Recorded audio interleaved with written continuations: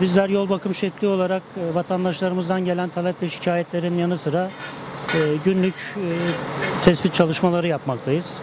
Yapmış olduğumuz tespitler neticesinde aksaklık arz eden noktaların periyodik olarak tamir, bakım ve onarım çalışmalarını aciliyet durumuna göre sıralayarak programlar dahilinde yapmaktayız.